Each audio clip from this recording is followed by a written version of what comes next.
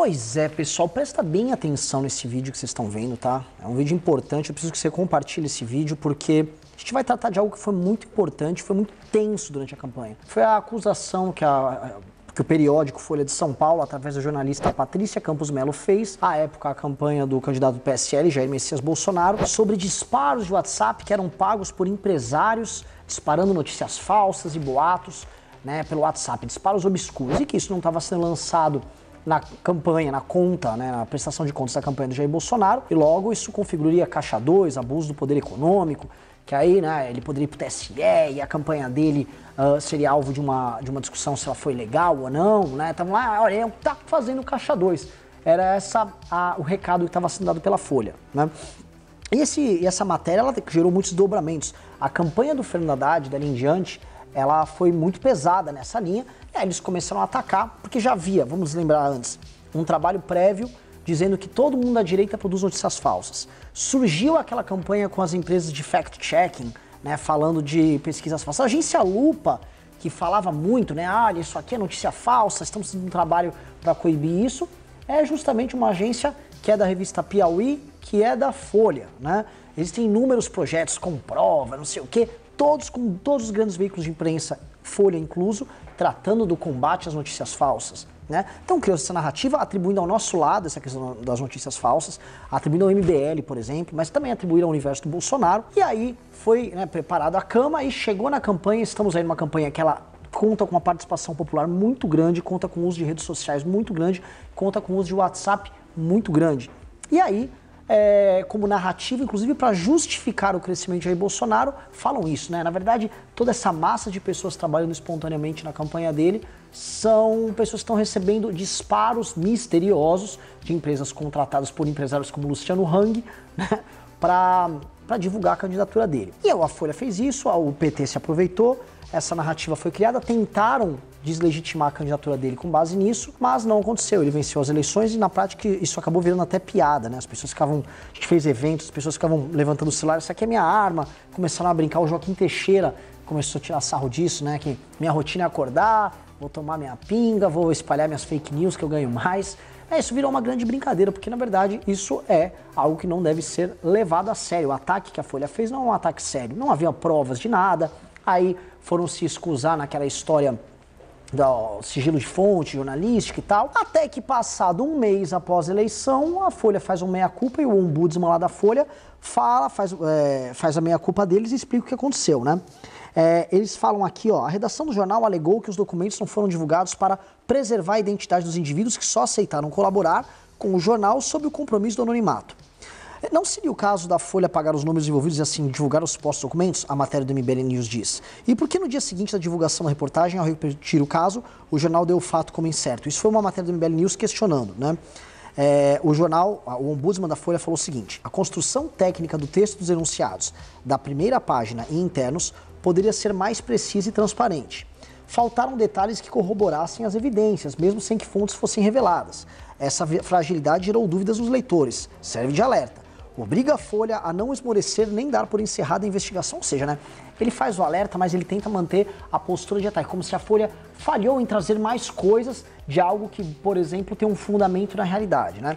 E tudo que for demonstrado até agora é ausência de fundamento na realidade para comprovar esses disparos pagos por empresários ligados à campanha do Bolsonaro. E mesmo que eles tivessem os feito, você comprovar que há uma ligação direta entre eles e a campanha do presidente eleito Jair Bolsonaro. Então, é, a acusação, como toda, era frágil e, conforme eu demonstrei aqui, ela fazia parte de um processo narrativo.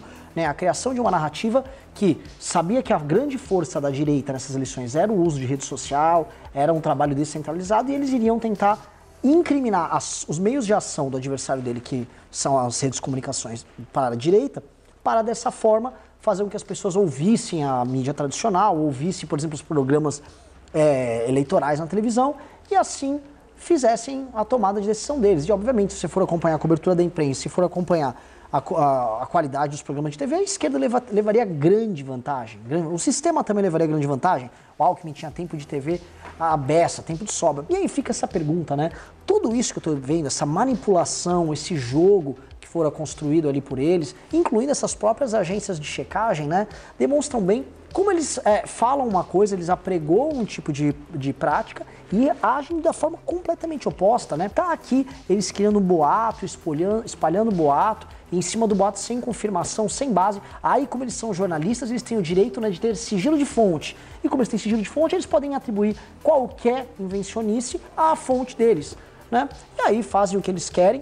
E, obviamente, se você se comporta de maneira similar, mas você não é um veículo de imprensa, aí você é um monstro que está confundindo as pessoas, como o Facebook disse, por exemplo, do MBL, que não tem uma notícia falsa comprovada contra ele. Nós estávamos gerando divisão, nós estávamos gerando desinformação. O que a Folha fez ali com a matéria da Patrícia Campos Melo foi gerar desinformação. E através da desinformação, eles geraram uma pauta política para que a esquerda, para que a candidatura do Fernando Haddad pudesse trabalhar. Né?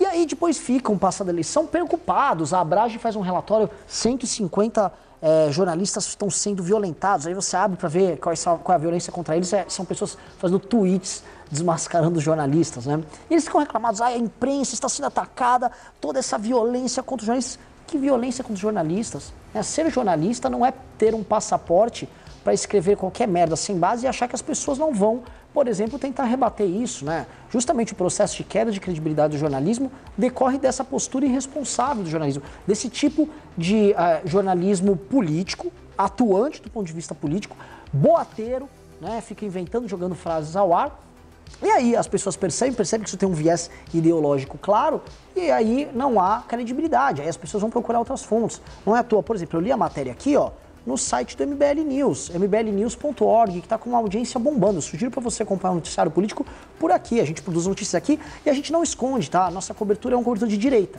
É uma cobertura que tem a ver com a nossa visão de mundo. A gente não esconde de ninguém. Não adianta também se escorar, porque o erro da imprensa é esse, é se escorar. Ah, nós somos isentos, né? Então nós temos uma cobertura isenta. Não tem. A cobertura não é isenta. O que essa, o que essa meia-culpa que a Folha fez agora é a meia-culpa de alguém que mais do que errou, mais do que forjou, mais do que espalhou boato, né?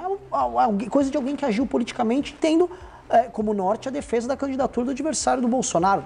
Né? Esse tipo de postura é muito ruim, porque em vários momentos o Bolsonaro errou, em vários momentos o Bolsonaro vai errar como presidente. E se fosse uma imprensa atuante, de posição, ela estaria preocupada em pegar os erros reais, os erros que são percebidos também pela população como erros que devem ser censurados no sentido de atacados, né, e demonstrados, expostos, e não esse tipo de coisa, né? É, isso aí também, é, só para finalizar aqui esse vídeo, porque esse vídeo é, é importante para vocês entenderem. É, ao atacarem as redes do WhatsApp, o que eles demonstram bem é que eles são incapazes de acreditar que as pessoas, por, por vontade própria, estão fazendo campanha para Bolsonaro. Além da mentira, tem uma negação da realidade. Algo tipo, não, não é possível que tenham todos esses dados, essa audiência toda compartilhando, divulgando material desse maluco, desse Bolsonaro, né? Isso eles também falavam sobre o nosso material. É impossível, o MBL não está tendo essa audiência toda. Isso aí é robô, com certeza é robô. Já fizeram matéria, já fizeram todo tipo de investigação, eles viram que não é robô coisíssima nenhuma. Mas tem aquela coisa do wishful thinking, eles ficam achando, não, na verdade é, na verdade tem grandes empresários espalhando mentira. Não, cara, os grandes empresários que espalham mentira historicamente no Brasil são os donos dos grandes grupos de mídia, que puderam espalhar mentira impunemente ao longo aí das últimas décadas, né? Graças a Deus a gente tem as redes sociais, graças a Deus a gente tem o Zap Zap, tem a mídia independente agora que faz um contraponto, um contraponto honesto, onde cada um traz a sua interpretação dos fatos, e aí debate no Seara Pública, debate na arena pública e o público é, livre, né, o público que agora tem opções, pode escolher no que ele irá acreditar. É isso aí, muito obrigado. Inscreva-se no nosso canal youtube.com/mblivre. Precisamos da sua ajuda. Acesse mbl.org.br/contribua.